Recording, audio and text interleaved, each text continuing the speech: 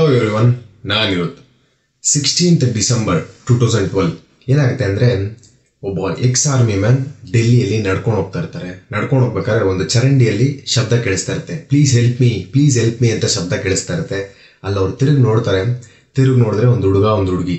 ಒಂದು ಹುಡುಗ, ಒಂದು ಹುಡುಗಿ ಬೆತ್ತಲೆ ಆಗಿರ್ತಾರೆ. ಆ ಹುಡುಗಿ ಮ, ಆ ಹುಡುಗಿ ಮೈಯೆಲ್ಲ ಹೇಗಿರುತ್ತೆ ಅಂದರೆ ಅವಳು ಪ್ರೈವೇಟ್ ಪಾರ್ಟ್ಸ್ ಎಲ್ಲ ಇಷ್ಟು ರಕ್ತ ಆಗಿರುತ್ತೆ ಅಂದರೆ ಅವ್ರು ಹೇಳ್ತಾರೆ ಒಂದು, ಇದರಲ್ಲಿ ನಾನು ಕಾರ್ಗಿಲ್ ಯುದ್ಧ ಮಾಡಿದಾಗಲೂ ಅಷ್ಟು ಒಂದು ಆರ್ಮಿ ಯೋ, ಯೋಧನಲ್ಲೂ ಅಷ್ಟು ರಕ್ತ ನೋಡಿರಲಿಲ್ಲ, ಅಷ್ಟು ರಕ್ತ ಮಾಡಿ, ರಕ್ತ ಇತ್ತು ಆ ಹುಡುಗಿ ಬಾಡಿ ಮೇಲೆ ಅಂತ ಹೇಳ್ತಾಳೆ ಸೊ ಅದು ಡೆಲ್ಲಿಯಲ್ಲಿ ನಡೆದಂಥ ಒಂದು ಕೇಸು ನಿರ್ಭಯ ಕೇಸ್ ಯಾಕಪ್ಪ ಇವತ್ತು ನಿರ್ಭಯ ಕೇಸ್ ಬಗ್ಗೆ ಮಾತಾಡ್ತಾ ಇದೆ ಅಂತ? ಸೊ ಜಸ್ಟಿಸ್ ಫಾರ್ ದೇವಿಕಾ ಅಂತ ಏನು ಕೇಳಿದ್ದೆ? ದೇವಿಕಾ ಅನ್ನೋಳ ಬಗ್ಗೆ ನಾವು ಜಸ್ಟಿಸ್ ಮಾ ಜಸ್ಟಿಸ್ ಬೇಕಾಗಿತ್ತು. ಸೊ ಜಸ್ಟಿಸ್ ಅನ್ನೋದು ಡಿಲೇ ಆದಷ್ಟು ಜಸ್ಟಿಸ್ ಡಿಲೇ ಆಗುತ್ತೆ. ಸೊ ಈ ಥರ ಇರುವಂಥ ಒಂದು ಪರಿಸ್ಥಿತಿ. ಜಸ್ಟಿಸ್ ಸಿಗಲ್ಲ. ತುಂಬ ಲೇಟ್ ಆಗುತ್ತೆ ಈ ನಿರ್ಭಯ ಕೇಸ್ ಅನ್ನೋದು ಅಷ್ಟೇ, ಎಂಟು ವರ್ಷ ಆಗುತ್ತೆ ಒಂದು ಜಸ್ಟಿಸ್ ಸಿಗೋಕ್ಕೆ ಅವ್ರನ್ನ ಹ್ಯಾಂಗ್ ಮಾಡೋದಕ್ಕೆ two thousand twenty March twenty ಅರ್ತೆ ಬೇಕಾಗಿರುತ್ತೆ. ಸೊ ಅಲ್ಲಿವರೆಗೂ ಜಸ್ಟಿಸ್ ಡಿಲೇ ಆಗ್ತಾನೆ ಹೋಗಿ, ಹೋಗ್ತಾ ಇರುತ್ತೆ. ಸೊ ಅದ್ರ ಬಗ್ಗೆ ಈ ಎಪಿಸೋಡಲ್ಲಿ ನಿರ್ಭಯ ಬಗ್ಗೆ, ನಿರ್ಭಯ ಕೇಸ್ ಬಗ್ಗೆ ತಿಳ್ಕೊಳ್ಳೋಣ. ಸೊ ನಿರ್ಭಯ ಕೇಸ್ ಏನಾಗಿರುತ್ತೆ ಅಂದರೆ ಫಸ್ಟಿಂದ ಬರೋಣ. ಸೊ ಸ್ಟಾರ್ಟಿಂಗಲ್ಲಿ ಸಿಕ್ಸ್ಟೀನ್ತ್ ಡಿಸೆಂಬರ್ ಟೂ ತೌಸಂಡ್ ಟ್ವೆಲ್ಲಲ್ಲಿ ಏನಾಗಿರುತ್ತೆ, ಒಂದು ಹುಡುಗ, ಒಂದು ಹುಡುಗಿ ಡಿಸೈಡ್ ಮಾಡ್ತಾರೆ. ಒಂದು ಫಿಲಮ್ಗೆ ಹೋಗೋಣ ಲೈಫ್ ಆಫ್ ಪೈ ಅನ್ನೋ ಒಂದು ಫಿಲಮ್ಗೆ ಹೋಗೋಣ ಆ ಫಿಲಮ್ ನೋಡ್ಕೊಂಡ್ ಬರೋಣ ಅಂತ ಡಿಸೈಡ್ ಮಾಡ್ತಾರೆ. ಹುಡುಗ ಹೇಳ್ತಾನೆ ನಮ್ಮ ಗಾಡಿಯಲ್ಲಿ ಹೋಗೋಣ, ನಾನು ಗಾಡಿಯಲ್ಲಿ ಹೋಗ್ತಾ ಫಿಲಮ್ ನೋಡೋಣ ಅಂತ ವಾಪಸ್ ಬರ್ಬೋದು ಈಸಿಯಾಗಿ ಅಂತ. ಹುಡುಗಿ ಡಿಸೈಡ್ ಮಾಡ್ತಾಳೆ, ಇಲ್ಲ, ಈ ವಿಂಟರ್ ಸೀಸನ್ ಅಲ್ವಾ, ಚಳಿಗಾಲ, ಅದಕ್ಕೋಸ್ಕರ ಒಂದು ಬಸ್ಸಲ್ಲಿ ಹೋಗೋಣ ಅಥವಾ ಕಾರಲ್ಲಿ ಹೋಗೋಣ, ಅದು ಬೆಟರ್ ಆಗಿರುತ್ತೆ. ಸೊ ಹುಡುಗನ, ಹೌದಲ್ವಾ, ಚಳಿಗಾಲ? ಒಪ್ಕೊಂತಾನೆ. ಸೊ ಏನು ಮಾಡ್ತಾರೆ ಫಿಲಮ್ ಎಲ್ಲ ನೋಡಿ ಅವ್ರೇನು ಮಾಡ್ತಾರೆ, ಒಂದು ಬಸ್ ಸ್ಟ್ಯಾಂಡಲ್ಲಿ ಬಂದು ನಿಂತ್ಕೊಂಡಿರ್ತಾರೆ. ಸೊ ಬಸ್ ಸ್ಟ್ಯಾಂಡಲ್ಲಿ ಬಂದು ನಿಂತ್ಕೊಂಡಾಗ ಒಂದು ಬಸ್ ಬರ್ತಾ ಇರುತ್ತೆ, ಒಂದು ಸ್ಕೂಲ್ ಬಸ್ ಅದು ಪ್ರೈವೇಟ್ ಬಸ್ಸು ಅಲ್ಲ, ಮಾಮೂಲಿ ನಾರ್ಮಲ್ ಬಸ್ಸು ಅಲ್ಲ, ಅಥವಾ ಅಲ್ಲಿ ಡೆಲ್ಲಿಯಲ್ಲಿ ಓಡಾಡುವಂಥ ಒಂದು ಬಸ್ಸು ಅಲ್ಲ. ಮಾಮೂಲಿಯಾಗಿ ಒಂದು ಸ್ಕೂಲ್ ಬಸ್ ಹೇಗಿರುತ್ತೆ, ಅದೇ ಥರ ಸ್ಕೂಲ್ ಬಸ್ ಬಂದು ನಿಂತ್ಕೊಳ್ಳುತ್ತೆ ಆ ಬಸ್ ಸ್ಟ್ಯಾಂಡ್ಗೆ ಇವರು ಹತ್ತಾರೆ. ಆ ಸ್ಕೂಲ್ ಬಸ್ ಬಗ್ಗೆ ಇದು ಮುಂಚೆ ಮೂರು ಅವರ್ ಮುಂಚೆ ಏನು ನಡೆದಿರುತ್ತೆ ಅಂತಲೂ ಹೇಳ್ತೀನಿ. ಸ್ಕೂಲ್ ಬಸ್ಸು ಮೂರು ಅವರ್ ಮುಂಚೆ ಏನು ಮಾಡ, ಏನಾಗಿರುತ್ತೆ ಅಂದರೆ ಅದರಲ್ಲಿ ಆರು ಆರು ಜನ ಇರ್ತಾರೆ. ಸೊ ಆರು ಜನ ಬೇರೆ ಬೇರೆ ಊರಿಂದ ಬೇರೆ ಬೇರೆ ಜನ ಅಂದರೆ ಬೇರೆ ಬೇರೆ ಕೆಲಸ ಡೆಲ್ಲಿಯಲ್ಲೇ ಸೆಟ್ಲ್ ಆಗಿರೋವಂಥವ್ರು. ಸೊ ಆರು ಜನದಲ್ಲಿ ಒಬ್ಬ ಒಂದು ಕಾ ಬಸ್ ಡ್ರೈವರ್ ಆಗಿದ್ರೆ ಇನ್ನೊಬ್ಬ ಕಂಡಕ್ಟರ್ ಆಗಿರ್ತಾನೆ ಆ ಬಸ್ಗೆ ಇನ್ನೊಬ್ಬ ಬಸ್ ಕಾರ್ ಕ್ಲೀನರ್ ಆಗಿರ್ತಾನೆ. ಇನ್ನೊಬ್ಬ ಬೇರೆ ಕಡೆಯಿಂದ ಕೆಲಸಕ್ಕೋಸ್ಕರ ಹುಡ್ಕೊಂಡ್ ಬಂದಿರ್ತಾನೆ. ಇನ್ನೊಬ್ಬ ಒಬ್ಬ ಜೀವನಲ್ಲಿ ಇರ್ತಾನೆ ಆ ಜೀವನೆಯಲ್ಲೂ ಹೇ, ಯಾಕೆ ಇವ್ರ ಗ್ರೂಪಿಗೆ ಸೇರಿಸ್ಕೊಂಡಿರ್ತಾನೆ ಅಂದರೆ ಒಂದು ಬಸ್ಸಲ್ಲಿ ಕರೀತಾರಲ್ಲ ಇವಾಗ ಮಧುರೈ ಮಧುರೈ ಅಥವಾ ಬೆಂಗಳೂರು ಬೆಂಗಳೂರು ಅಂತ ಏನು ಕರೀತಾರೆ, ಆ ಕಂಡಕ್ಟರ್ ಕೆಲಸಕ್ಕೆ ಸೌಂಡ್ ಚೆನ್ನಾಗಿ ಮಾಡ್ತಾನೆ ಅನ್ನೋದಕ್ಕೆ ಇವ್ರ ಗ್ರೂಪಿಗೆ ಸೇರಿಸ್ಕೊಂಡಿರ್ತಾರೆ. ಸೊ ಇವರೆಲ್ಲ ಒಂದು ಗ್ರೂಪ್ ಆಗಿರುತ್ತೆ ಇವ್ರ ಗ್ರೂಪ್ ಏನು ಡಿಸಿಷನ್ ಅಂದರೆ ನಾವು ಇವತ್ತು ಎಂಜಾಯ್ ಮಾಡಬೇಕು. ಸೊ ಎಂಜಾಯ್ ಮಾಡೋದಕ್ಕೆ ದುಡ್ಡು ಬೇಕಲ್ವಾ? ಅದಕ್ಕೋಸ್ಕರ ಈ ಬಸ್ಸನ್ನು ತಗೊಳ್ಳೋಣ ಅಂತ ಹೇಳಿ ಅವ್ನು ಡ್ರೈವರ್ ಡಿಸೈಡ್ ಮಾಡ್ತಾನೆ. ಬಸ್ಸನ್ನು ಇಟ್ಕೊಂಡು ನಾವು ದುಡ್ಡು ಸಂಪಾದನೆ ಮಾಡೋಣ ಅನ್ನೋ ಥರ ಅವ್ರು ಡಿಸೈಡ್ ಮಾಡಿರ್ತಾರೆ. ಸೊ ಒಂದು ಬಸ್ ಸ್ಟ್ಯಾಂಡಿಗೆ ಬಂದು ನಿಂತ್ಕೊಂತಾರೆ. ಒಂದು ಬಸ್ ಸ್ಟ್ಯಾಂಡಿಗೆ ಬಂದು ನಿಂತ್ಕೊಂಡಾಗ ಅಲ್ಲಿ ಹಲವಾರು ಜನ ಇರ್ತಾರೆ.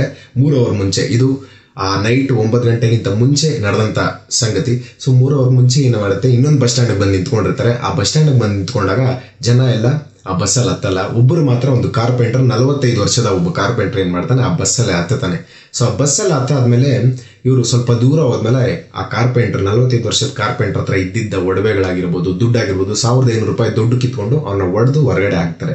ಸೊ ಈ ಥರ ಒಂದು ಪರಿಸ್ಥಿತಿಯಲ್ಲಿ ಅವರು ನಲವತ್ತೈದು ವರ್ಷದ ಮುದುಕ ಏನು ಮಾಡ್ತಾರೆ, ಕೆಳಗಡೆ ಬೀಳ್ತಾರೆ. ಸೊ ಬಿದ್ದಾದ್ಮೇಲೆ ಅವ್ರು ಏನು ಮಾಡ್ತಾರೆ, ಒಂದು ಅವರು ಕರೆಕ್ಟಾಗಿ ಬಸ್ಸೆಲ್ಲ ನೋಡ್ಕೊಂಡಿರ್ತಾರೆ ಕಲರ್ ಆಗಿರ್ಬೋದು ನಂಬರ್ ಆಗಿರ್ಬೋದು, ಎಲ್ಲದನ್ನು ನೋಡಿಕೊಂಡು ಏನು ಮಾಡ್ತಾರೆ? ಒಂದು ಹತ್ರದಲ್ಲಿರುವಂಥ ಒಂದು ಪೊಲೀಸ್ ಸ್ಟೇಷನ್ಗೆ ಹೋಗ್ತಾರೆ. ಅಲ್ಲಿ ಕಂಪ್ಲೇಂಟ್ ಕೊಡ್ತಾರೆ. ಕಂಪ್ಲೇಂಟ್ ಕೊಟ್ಟು ಏನು ಮಾಡ್ತಾರೆ? ಈ ಥರ ಬಸ್ ಕಲರ್ ಇತ್ತು, ಈ ಥರ ನಂಬರ್ ಇತ್ತು ಅಂತ ಹೇಳ್ತಾರೆ. ಪೊಲೀಸವ್ರು ಏನು ಮಾಡ್ತಾರೆ? ಇದು ನನ್ನ ಜುಸ್ ಜೂರಿಸ್ಟಿಕ್ಷನ್ ಬರಲ್ಲ. ಸೊ ಆ ಪೊಲೀಸ್ ಸ್ಟೇಷನ್ ಜೂರಿಸ್ಟಿಕ್ಷನ್ ಬರೋವಂಥ ಒಂದು ಪೊಲೀಸ್ ಸ್ಟೇಷನ್ಗೆ ಹೋಗಿ ನೀವು ಕಂಪ್ಲೇಂಟ್ ಕೊಡಬೇಕು ಅಂತ ಹೇಳ್ತಾರೆ. ಸೊ ಅವಾಗ ನಲವತ್ತೈದು ವರ್ಷದವ್ರಿಗೆ ಕೋಪ ಬರುತ್ತೆ. ಸೊ ಕೋಪ ಬಂದು, ನನಗೆ ಇಷ್ಟೆಲ್ಲ ಏಟಾಗಿದೆ, ಇವ್ರು ಕಂಪ್ಲೇಂಟ್ ತೊಗೊತಾ ಇಲ್ಲವಲ್ಲ ಅಂದ್ಬಿಟ್ಟು ಅವ್ರು ಹೋಗಿ ಮಲ್ಕೊಂಡ್ಬಿಡ್ತಾರೆ. ಅವತ್ತೇನಾದರೂ ಪೊಲೀಸವರು ಆ ಕಂಪ್ಲೇಂಟ್ ತೊಗೊಂಡು ಆ ಬಸ್ಸನ್ನು ಸ್ಟಾಪ್ ಮಾಡಿದರೆ ಇಷ್ಟೊತ್ತಿಗೆ ನಿರ್ಭಯ ಕೇಸ್ ಆಗ್ತಾ ಇರಲ್ಲ. ಸರಿ, ಮುಂದಕ್ಕೆ ಹೋಗೋಣ. ಸೊ ನಿರ್ಭಯ ಕೇಸ್ ಏನಾಗುತ್ತೆ? ಆ ಬಸ್ ಬಂದು ನಿಂತ್ಕೊಳ್ಳುತ್ತೆ. ಇವರಿಬ್ಬರು ಹತ್ತುತ್ತಾರೆ. ಯಾರು ಆ ಹುಡುಗ, ಹುಡುಗಿ ಹತ್ತಾರೆ. ಹತ್ಕೊಂಡು ಆದಮೇಲೆ ಒಂದು ಸೀಟಲ್ಲಿ ಇಬ್ಬರು ಜೊತೆಲಿ ಕೂತ್ಕೊಂತಾರೆ. ಸೊ ಜೊತೆಲಿ ಕೂತ್ಕೊಂಡಾಗ ಯಾರು ಜನ ಏನಿರ್ತಾರೆ ಅವ್ರನ್ನೇ ಅಬ್ಸರ್ವ್ ಮಾಡ್ತಾ ಇರ್ತಾರೆ. ಈ ಹುಡುಗ ಮಾಮೂಲಿಯಾಗಿ ಫ್ರೆಂಡ್ಲಿ ಆಗಿರ್ತಾನೆ. ಸೊ ಆ ಹುಡುಗ ಹತ್ರ ಕೇಳ್ತಾರೆ, ನಿನ್ನ ಲವರ ಇವಳು? ಅಂತ ಹೇಳಿದಾಗ, ಇಲ್ಲ ನನ್ನ ಫ್ರೆಂಡ್ ಇವಳು. ಸೊ ನನ್ನ ಫ್ರೆಂಡ್ ಬಂದಿರಳಂತೆ ಇವಳು ಹಂಗೆ ಡಿಸ್ಕಷನ್ ನಡೆಯುತ್ತೆ ಡಿಸ್ಕಷನ್ ನಡಿಬೇಕಾದ್ರೆ ಇನ್ನೊಂದು ಪ್ರಶ್ನೆನೂ ಹೇಳ್ತಾರೆ. ಯಾಕೆ ಒಂದು ಹುಡುಗಿ ಆದವಳು ಒಂಬತ್ತು ಗಂಟೆ ಆದಮೇಲೆ ಈ ಹುಡುಗನ ಜೊತೆ ಬಂದಿದ್ಯಾ? ಈ ನೈಟ್ ಟೈಮಲ್ಲಿ ಥರ ಎಲ್ಲ ಬರ್ಬೋದಾ? ಒಂದು ಸೊಸೈಟಿ ನಾವು ಕ್ರಿಯೇಟ್ ಮಾಡಿರುವಂಥ ಒಂದು ಸೊಸೈಟಿ ರಾತ್ರಿ ಹೊತ್ತು ಒಂದು ಹುಡುಗಿ ಓಡಾಡಿದ್ರೆ ಅದೇ ಇಂಟೆನ್ಷನ್ ನೋಡ್ತೀವಿ. ಸೊ ಅವರು ಅದೇ ಇಂಟೆನ್ಷನ್ ನೋಡ್ತಾ ಇದ್ರು. ಆರು ಜನ ಕನ್ವಿಕ್ಸ್ ಏನಿದ್ರು ಅದೇ ಇಂಟೆನ್ಷನ್ ನೋಡ್ತಾ ಇರ್ತಾರೆ. ಆ ಹುಡುಗಿ ಒಂದು ಡಾಕ್ಟರ್ ಓದ್ತಾ ಇರ್ತಾಳೆ ಮೆಡಿಕಲ್ ಸ್ಟೂಡೆಂಟ್ ಅಂದ್ರೆ ಕರಿಬೋದು. ಸೊ ಈ ಥರ ಒಂದು ಡಿಸ್ಕಷನ್ ನಡೀತಾ ಡಿಸ್ಕಷನ್ ಏನು ತಪ್ಪು, ಆ ಥರ ಒಂದು ಡಿಸ್ಕಷನ್ ವಾದ ವಿವಾದ ಆಗ್ತಾ ಇರುತ್ತೆ.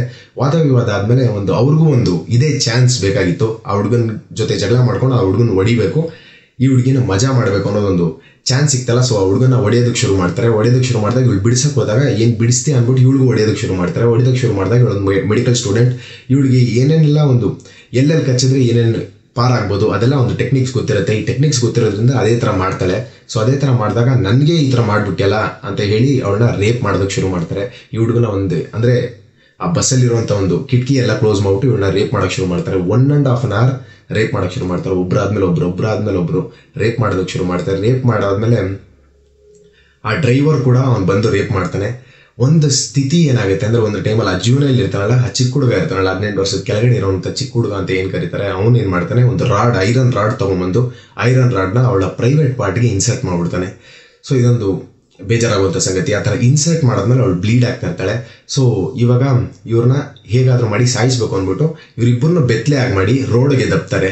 ರೋಡಿಗೆ ದಬ್ಬ ಆದ್ಮೇಲೆ ಆ ರೋಡಲ್ಲಿ ಅವ್ರು ಮಲ್ಕೊಂಡಿರ್ಬೇಕಾದ್ರೆ ಏಟ್ ಆಗಿರುತ್ತೆ ಆ ಹುಡುಗಿ ಬ್ಲಡ್ ಬರ್ತಾ ಇರುತ್ತೆ, ಇವನಿಗೂ ಏಟ್ ಆಗಿರುತ್ತೆ ಸ್ವಲ್ಪ ಹೊಡೆದಿರೋದ್ರಿಂದ ಸೊ ಅವ್ರು ಮಲಗಿರ್ತಾರೆ ರೋಡಲ್ಲಿ. ರಿವರ್ಸ್ ತೊಗೊಬೇಕು. ರಿವರ್ಸ್ ತೊಗೊತಾ ಇರ್ತಾರೆ. ಆ ಹುಡುಗ ಯೋಚನೆಯಲ್ಲಿ ಇದ್ನೋ ಏನೋ ಗೊತ್ತಿಲ್ಲ. ಆ ಹುಡುಗ ಇವಳನ್ನ ಹೇಳ್ಕೊಂಡ್ಬಿಡ್ತಾನೆ. ಸೊ ಇಬ್ರು ಸಾಯಲ್ಲ ಒಂದು ಗಟ್ಟರ್ಗೆ ಬಿದ್ದೋಗ್ತಾರೆ. ಒಂದು ಚರಂಡಿಗೆ ಬಿದ್ದೋಗ್ತಾರೆ. ಚರಂಡಿಗೆ ಬಿದ್ದಾದ್ಮೇಲೆ ಒಂದು ಎಕ್ಸ್ ಆರ್ಮಿ ಮ್ಯಾನ್ ಅದನ್ನ ನೋಡ್ತಾರೆ. ಅವ್ರನ್ನ ಹಾಸ್ಪಿಟ್ಲಿಗೆ ಸೇರಿಸ್ತಾರೆ. ಸೊ ಹಾಸ್ಪಿಟ್ಲಿಗೆ ಸೇರಿಸಾದ್ಮೇಲೆ ಆ ಹುಡುಗಿ ರಿಕವರ್ ಆಗೋ ಪರಿಸ್ಥಿತಿ ನಡೀತಾ ಇರುತ್ತೆ. ಸೊ ಡೆಲ್ಲಿಯಲ್ಲಿ ಆ ಟೈಮ್ ಟೂ ತೌಸಂಡ್ ಟ್ವೆಲ್ನಲ್ಲಿ ಒಂದು ಏನು ಮಾಡ್ತಾರೆ? ಎಲ್ಲ ಹೆಣ್ಮಕ್ಳೆಲ್ಲ ಆಗಲಿ ಹಲವಾರು ಕಡೆ ಒಂದು ರೆವಲ್ಯೂಷನ್ ಶುರುವಾಯಿತು ಒಂದು ಜಸ್ಟಿಸ್ ಬೇಕು ಅನ್ನೋದಕ್ಕೆ ಒಂದು ರೆವಲ್ಯೂಷನ್ ಶುರು ಆಯಿತು ಕ್ಯಾಂಡಲ್ ಲೈಟ್ ಅನ್ಸಿದ್ರು. ಅವಳ ಅವಳ ಬಗ್ಗೆ ತುಂಬ ಒಂದು ರೆವಲ್ಯೂಷನ್ ಶುರು ಆಯಿತು ಆ ರೇಪ್ಗೋಸ್ಕರ ಸೊ ಅದಾದ್ಮೇಲೆ ಏನಾಗುತ್ತೆ, ಈ ಥರ ಹಾಸ್ಪಿಟಲ್ ಸೇರಿಸ್ತಾರೆ. ಸಿ ಹಾಸ್ಪಿಟಲ್ ಸೇರಿಸಾದ್ಮೇಲೆ ಹಾಸ್ಪಿಟಲ್ ಒಳ್ಳೆ ಟ್ರೀಟ್ಮೆಂಟ್ ಕೊಡ್ತಾ ಇರ್ತಾರೆ ಡೆಲ್ಲಿ ಹಾಸ್ಪಿಟ್ಲಲ್ಲಿ ಸೊ ಇದೊಂದು ಪೊಲಿಟಿಕಲ್ ಇಶ್ಯೂ ಆಗುತ್ತೆ. ಪೊಲಿಟಿಕಲ್ ಇಶ್ಯೂ ಏನಂದ್ರೆ ಡೆಲ್ಲಿ ಗೌರ್ಮೆಂಟ್ ಏನು ಮಾಡುತ್ತೆ? ಸೊ ನಾವು ಇದನ್ನ ಚೆನ್ನಾಗಿ ನೋಡ್ಕೊಂತೀವಿ ಅಂತ ಹೇಳಿ ಡೆಲ್ಲಿಯಿಂದ ಸಿಂಗಾಪುರ್ ಕರ್ಕೊಂಡು ಹೋಗ್ಬೇಕು ಅಂತ ಡಿಸೈಡ್ ಮಾಡ್ತಾರೆ. ಸಿಂಗಾಪುರ್ ಕರ್ಕೊಂಡು ಹೋಗ್ತಾ ಕರ್ಕೊಂಡು ಹೋಗ್ಬೇಕಾದ್ರೆ ಫ್ಲೈಟಲ್ಲಿ ಇರ್ಬೇಕಾದ್ರೆ ಅವಳಿಗೆ ಕಾರ್ಡಿಯಾ ಅರೆಸ್ಟ್ ಆಗುತ್ತೆ. ಸೊ ಕಾರ್ಡಿಯಾ ಅರೆಸ್ಟ್ ಆದಮೇಲೆ ಅವಳನ್ನ ಸಿಂಗಾಪುರ್ ಒಳಗಡೆ ಹಾಸ್ಪಿಟ್ಲ್ ಹತ್ರ ನಿಲ್ಸಾದ್ಮೇಲೆ ಅವಳನ್ನ ಟ್ರೀಟ್ಮೆಂಟ್ ಕೊಡ್ಬೇಕಾದ್ರೆ ಮಾರನೇ ದಿನನೇ ಸತ್ತೋಗ್ತಾಳೆ ಸೊ ಈ ಥರ ಸತ್ತೋದಾದ್ಮೇಲೆ ಈ ಕನ್ವಿಕ್ಟ್ಸ್ ಎಲ್ಲ ಬೇರೆ ಬೇರೆ ಕಡೆ, ಎಲ್ಲಿ ಡೆಲ್ಲಿಯಲ್ಲಿ ಸ್ವಲ್ಪ ಜನ ಸೆಟ್ಲ್ ಆಗಿರ್ತಾರೆ, ಬೇರೆ ಬೇರೆ ಕಡೆ ಬಿಹಾರ್ ಉತ್ತರ ಪ್ರದೇಶ ಅಲ್ಲೆಲ್ಲ ಸೆಟ್ಲ್ ಆಗಿರ್ತಾರೆ, ಇವರೆಲ್ಲ ಅದೇ ಸ್ಟೇಟಿಂದ ಬಂದಿರ್ತಾರೆ. ಸೊ ಈ ಥರ ಸೆಟ್ಲ್ ಆಗಿರ್ತಾರೆ. ಇವ್ರನ್ನ ಹೆಂಗಾದ್ರೂ ಹಿಡಿಬೇಕಲ್ಲ? ಅವಾಗಲೂ ಕೂಡ ಪೊಲೀಸರು ಅದನ್ನ ಕ್ರಮ ತಗೊಂಡ್ರಲ್ಲ. ಈ ಫಸ್ಟು ಒಂದು ಎರಡು ಹೆಣ್ಣು ಪೊಲೀಸು ಅಂದರೆ ವುಮೆನ್ ಪೊಲೀಸ್ ಅವರು ನೋಡಿರ್ತಾರೆ. ಈ ನಿರ್ಭಯನ ಈ ಥರ ಆ ರಕ್ತದ ಪರಿಸ್ಥಿತಿ ಅದನ್ನು ನೋಡಿರ್ತಾರಲ್ಲ, ಇವಳಿಗೆ ಹೇಗಾದ್ರೂ ಒಂದು ಜಸ್ಟಿಸ್ ತಗೋಬರ್ಬೇಕು ಅನ್ನೋದು ಅವರ ಮೈಂಡ್ ಸೆಟ್ ಅಲ್ಲಿ ಇರುತ್ತೆ ಅನ್ನೋ ಗೊತ್ತಿಲ್ಲ. ಸೊ ಅವರು ಅವ್ರನ್ನ ಒಂದು ಫಾರ್ಟಿ ಏಯ್ಟ್ ಅವರ್ಸಲ್ಲಿ ಟ್ರೇಸ್ ಮಾಡ್ತಾರೆ. ಸೊ ಒಂದು ನಾಲ್ಕೈದು ದಿನದ ಒಳಗಡೆ ಎಲ್ಲರನ್ನೂ ಟ್ರೇಸ್ ಮಾಡಿ ಅವ್ರನ್ನ ಜೈಲಿಗೆ ಕಳಿಸ್ತಾರೆ. ಬಟ್ ಜೈಲಿಗೆ ಕಳಿಸಾದ್ಮೇಲೆ ಇರೋದು ಸೊ ಅವನ್ನ ಒಬ್ಬ ಜೂನಲ್ಲಿ ಏನು ಮಾಡ್ತಾರೆ, ಅವ್ನು ಜೂನಲ್ಲಿ ಏಯ್ಟೀನ್ ಇಯರ್ಸ್ ಕೆಳಗಡೆ ಇರೋನು ಅಂತ ಹೇಳಿ ಅವನ್ನ ಹೊರಗಡೆ ಬಿಟ್ಬಿಡ್ತಾರೆ. ಇನ್ನು ನಾಲ್ಕು ಜನ ಕನ್ವಿಕ್ಟ್ಸ್ ಏನಿರ್ತಾರೆ ಇನ್ನು ನಾಲ್ಕು ಜನ ಕನ್ ನಾಲ್ಕರಿಂದ ಐದು ಜನ ಕನ್ವಿಕ್ಟ್ಸ್ ಏನಿರ್ತಾರೆ ಅವ್ರನ್ನ ಜೈಲಲ್ಲೇ ಇರ್ತಾರೆ, ತಿಹಾರ್ ಜೈಲಲ್ಲಿ ಹಾಕಿರ್ತಾರೆ. ಸೊ ಜಸ್ಟಿಸ್ ಎಷ್ಟು ಡಿಲೇ ಆಗುತ್ತೆ ಅಂದರೆ ಟೂ ತೌಸಂಡ್ ಟ್ವೆಲ್ವಿಂದ ಟೂ ತೌಸಂಡ್ ಟ್ವೆಂಟಿವರೆಗೂ ಮಾರ್ಚ್ವರೆಗೂ ಮಾರ್ಚ್ವರೆಗೂ ಎಳ್ಕೊಂಬಂದಿರ್ತಾರೆ ಸೊ ಅವ್ರಿಗೆ ಅವ್ರನ್ನ ಸಾಯಿಸ್ಬೇಕಾ ಹ್ಯಾಂಗ್ ಮಾಡ್ಬೇಕಾ, ಒಂದು ಯೋಚನೆ ಬಂದೇ ಬಂದಿರುತ್ತೆ ಎಷ್ಟೊಂದು ಜನ. ಸೊ ಅವ್ರನ್ನ ಒಂದು ಇಂಟರ್ವ್ಯೂಲ್ಲಿ ಕೇಳ್ತಾರೆ. ಯಾರನ್ನ ಈ ಕನ್ವಿಕ್ಟ್ಸ್ನ ಇಂಟರ್ವ್ಯೂ ಕೇಳಿದಾಗ ಯಾಕೆ ಒಂದು ಹುಡುಗಿ ಒಂಬತ್ತು ಗಂಟೆ ಮೇಲೆ ಬರಬೇಕು? ನೈಟ್ ಹೊತ್ತು ಯಾಕೆ ಬರಬೇಕು? ಒಂದು ಹುಡುಗನ ಜೊತೆ ಯಾಕೆ ಬರಬೇಕು? ಅದಕ್ಕೋಸ್ಕರ ಮಾಡಿದ್ವಿ ಅಂತ ಅವರು ಓಪನ್ ಆಗಿ ಒಂದು ಸ್ಟೇಟ್ಮೆಂಟ್ ಕೊಡ್ತಾರೆ. ಈ ಥರ ಒಂದು ಕನ್ವಿಕ್ಟ್ಸ್ ಕೊಟ್ಟಂತ ಒಂದು ಸ್ಟೇಟ್ಮೆಂಟ್ ಆಮೇಲೆ, ಆ ಜಡ್ಜ್ಮೆಂಟ್ ಅಲ್ಲಿ ಕೋರ್ಟ್ ಅಲ್ಲಿ ಇರ್ಬೇಕಾದ್ರೆ ಆ ಲಾಯರ್ ಅವ್ರ ಪರವಾಗಿ ಕನ್ವಿಕ್ಟ್ಸ್ ಪರವಾಗಿ ಹೋರಾಡ್ತಾ ಇದ್ದಂತ ಒಂದು ಲಾಯರ್ ಏನ್ ಹೇಳ್ತಾನೆ ಅಂದ್ರೆ, ಯಾಕೆ ಒಂದು ಹುಡುಗಿ ನೈನ್ ಕ್ಲಾಕ್ ಮೇಲೆ ಬರಬೇಕು? ಒಂದು ನೈಟ್ ಟೈಮಲ್ಲಿ ಒಂದು ಹುಡುಗ ಜೊತೆ ಬಂದ್ ಬಂದು ಅವಳು ಅವಳು ಏನಾದರೂ ಅದನ್ನ ಒಪ್ಕೊಂಡು ಮಾಡಿಸ್ಕೊಂಡಿದ್ರೆ ಇಷ್ಟೆಲ್ಲ ಅಪಘಾತನೇ ಆಗ್ತಾ ಇರಲ್ಲ. ಆಪ್ ಆಪತ್ತು ಆಗ್ತಾ ಇರಲಿಲ್ಲ ಸೊ ಒಪ್ಕೋಬೇಕಾಗಿತ್ತು. ಸೊ ಅವಳು ಒಪ್ಕೊಂಡು ಮಾಡಿಸ್ಕೋಬೇಕಾಗಿತ್ತ. ನೀವೇ ಯೋಚನೆ ಮಾಡಿ. ಆ ಥರ ಅವಳು ಎಷ್ಟು ಟ್ರೈ ಮಾಡಿದ್ಲು ಬಟ್ ಆದರೆ ಅವಳು ಕೊನೆಯಲ್ಲಿ ಅವಳು ಉಸಿರು ಎಳಿಬೇಕಾಗಿತ್ತು. ಇಷ್ಟೊಂದು ರೆವಲ್ಯೂಷನ್ ಕ್ರಿಯೇಟ್ ಆಯಿತು. ಸೊ ಕೊನೆಯಲ್ಲಿ ಏನಾಗುತ್ತೆ ಮಾರ್ಚ್ ಇಪ್ಪತ್ತನೇ ತಾರೀಕು ಬೆಳಗ್ಗೆ ಐದು ಗಂಟೆ ಸುಮಾರಿಗೆ ಏನು ಮಾಡ್ತಾರೆ? ಆ ನಾಲ್ಕು ಜನನು ಹ್ಯಾಂಗ್ ಮಾಡ್ತಾರೆ. ಒಂದು ಜಸ್ಟಿಸ್ ಸಿಕ್ತು ಬಟ್ ಜಸ್ಟಿಸ್ ಇಷ್ಟು ಡಿಲೇ ಆಯಿತು ಯೋಚನೆ ಮಾಡಿ. ಎಂಟು ವರ್ಷ ಡಿಲೇ ಆದಂಥ ಒಂದು ಜಸ್ಟಿಸ್ ನಿರ್ಭಯ ಕೇಸಲ್ಲಿ ಟೂ ತೌಸಂಡ್ ಟ್ವೆಲ್ಲಿಂದ ಟೂ ತೌಸಂಡ್ ಟ್ವೆಂಟಿವರೆಗೂ ಡಿಲೇ ಆದಂಥ ಒಂದು ಜಸ್ಟಿಸ್ ಅಂತಲೇ ಹೇಳ್ಬೋದು. ಸೊ ಇವಾಗಲೂ ಕೂಡ ದೇವಿಕಾ ಅನ್ನೋ ಒಂದು ಹುಡುಗಿ ತೆಲಂಗಾಣದಲ್ಲಿ ಸತ್ತಿದ್ದಾಳೆ.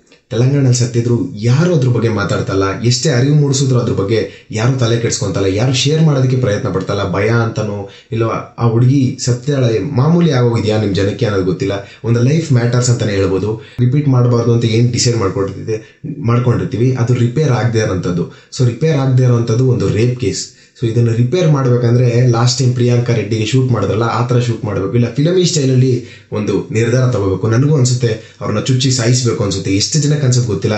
ನಿಮ್ಗೆ ಅನ್ಸಿದ್ರೆ ಆ ಥರ ಏನು ಮಾಡಬೇಕು ಅನ್ಸುತ್ತೆ ಅನ್ನೋದು ನೀವು ಕಮೆಂಟ್ ಸೆಕ್ಷನಲ್ಲಿ ಹಾಕಿ. ಸೊ ಈ ಥರ, ಆ ನಿರ್ಭಯ ಕೇಸ್ ಡಿಲೇ ಆಗಿದ್ದು ತುಂಬ ಒಂದು ಗೌರವವಾದ ಸಂಗತಿ ಅಂತಲೇ ಹೇಳ್ಬೋದು. ಇದೇ ಥರ ಇವಾಗ ದೇವಿಕಾ ಅನ್ನೋಳಿಗೆ ಜಸ್ಟಿಸ್ ಸಿಗಬೇಕು. ಈ ರೇಪ್ ಕೇಸ್ ಸ್ಟಾಪ್ ಆಗಬೇಕು. ರೇಪ್ ಅನ್ನೋದು ಸ್ಟಾಪ್ ಆಗಬೇಕು. So justice delayed justice denied ಅಂತ ಹೇಳ್ತಾ ಈ ಎಪಿಸೋಡ್ನ ಒಂದು we always repeat but we don't repair so ಅಂತ ಹೇಳ್ತಾ, ಈ ಎಪಿಸೋಡ್ನ ಒಂದು ಫುಲ್ ಸ್ಟಾಪ್ ಇಡ್ತಾ, ಮುಂದಿನ ವಿಚಾರದಲ್ಲಿ, ಮುಂದಿನ ಎಪಿಸೋಡಲ್ಲಿ ಮುಂದಿನ ದಿನ ಸಿಗ್ತೀನಿ. ಅಂಟಿಲ್ ನನ್ನ signing out which your sincere Nirod love lots take care bye